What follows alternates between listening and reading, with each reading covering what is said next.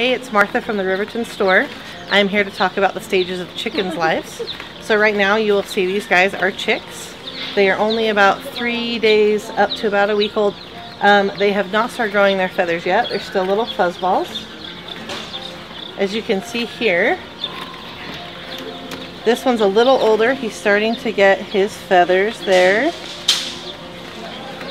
Um, here in about two weeks, she is going to start losing this cute little baby fuzz and start transitioning to her what I call the ugly teenager face, where they're going to lose this cute fuzz and start to get their adult feathers in. Um, at about four weeks old they look pretty scary. Just imagine your teenager with the acne and all that awkward growing stuff.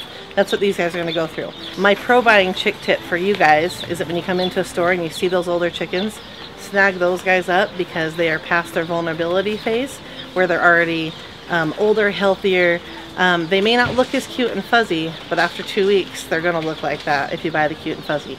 So if you can get the older ones, benefit for you, you can put them outside faster. Um, they'll start laying eggs sooner for you.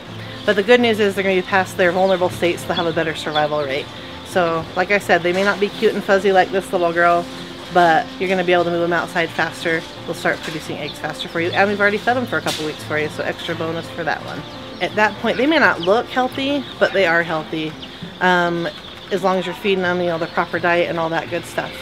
Um, at about six to eight weeks, usually the eight week mark, depending on outside temperatures, you can move them outside where they can start to grow into their full adulthood and start laying eggs for you. At about eight weeks old, you're going to move them over to a pullet developer, which IFA uh, manufactures. It's great for production of the teenage adolescent chicken to, to build their body up for a lifetime of laying. At about 20 weeks, they're going to start laying eggs for you. IFA also manufactures lay feed, which is um, designed specifically for those laying eggs. You'll get that nice golden yolk, which tastes amazing.